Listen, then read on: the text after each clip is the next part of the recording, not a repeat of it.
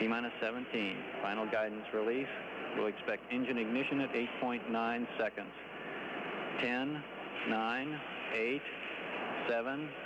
Ignition sequence started. All engines are started. We have ignition. Two, one, zero. We have a liftoff. We have a liftoff, and it's lighting up the area. It's just like daylight here at Kennedy Space Center as the Saturn V is moving off the pad. It has now cleared the. Tower yaw is complete. We're in the roll, Bob. Roger, Gino, looking great. Thrust good on all five engines. Okay, babe, it's looking good here. Roll is complete. We are pitching.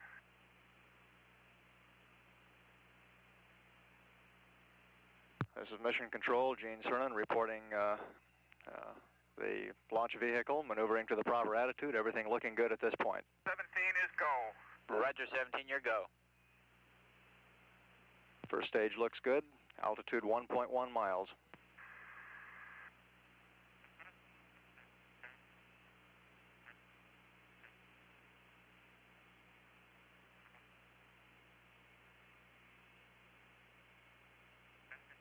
Booster says we look good. We're now at 2.5 miles.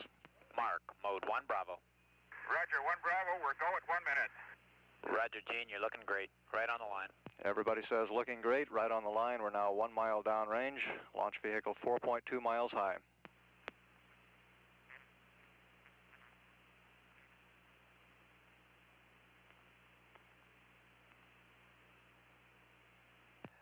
Coming up on maximum dynamic pressure at this point.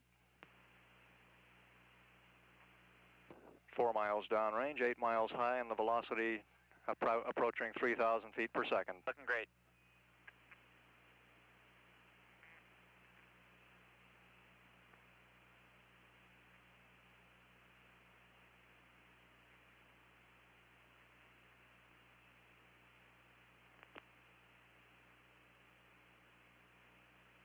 Stand by for mode 1, Charlie 17. Mark, mode 1, Charlie. And the flight dynamics officer says we look good on all sources, uh, right on the trajectory. Roger 17, you're go. Flight director Gene Kranz taking a status for staging. We say we look good for staging. Roger, we'll go here.